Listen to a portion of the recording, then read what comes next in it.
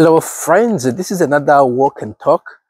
A little late in the evening, probably 8 p.m. here, but um, it's the beginning of summer, so it doesn't look very dark. And uh, I'm going to uh, board a very popular subject these days. If you are into the news and the current affairs, we have had um, a presidential and other elections in the United States where none other than Donald Trump, Donald J. Trump, has won once again a landslide victory in the elections. So, uh, in the United States, they have got what they call um, popular vote, which is basically counting all the numbers uh, of voters. Uh, he won that. And why I say that is that it's not the real victory. The victory lies onto um, a college or whatever they call it votes.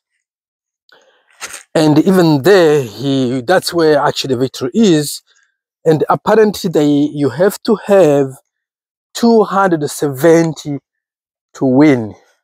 I guess there is maybe 270 times 2 plus 1. I didn't count all the seats there, or the votes, electoral votes. But he won basically so far, I've checked, uh, they have got what they call the sort of like a deciding uh, or key states. They do decide actually who is going to win there are seven. I want to remember them off the top of my head, but I can look from the coast to coast. I think I can see Nevada and Arizona. He's leading, but they haven't sort of called them off yet. I'm watching on AP or uh, AP uh, website, but maybe he had. I haven't watched the last two hours. But uh, otherwise, there's a Georgia, I think. There's mm, up, up in the north, Michigan and Wisconsin and Pennsylvania was probably the biggest. In actual fact, when he won Pennsylvania, they all, all, all the media called uh, Trump as the next 47th president because it was quite a deciding vote.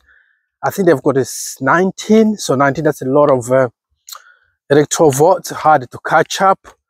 And I think all he needed that time actually was Alaska with the three. And traditionally, Alaska has been always a Republican state, so it was guaranteed in a sense. But there was still Michigan and Wisconsin where he was leading, but also Nevada and um, Arizona are still hanging there, but he is leading still. So there you have it. There is obviously a lot of uh, uh, how do you do you call this one? Like breaking down on the left side of politics? A bit of hysteria if you ask me. I don't think the majority of people have so much to lose whether trump or kamala harris was to win the election. People just get very hyster hysteric uh, probably for the the clout or the views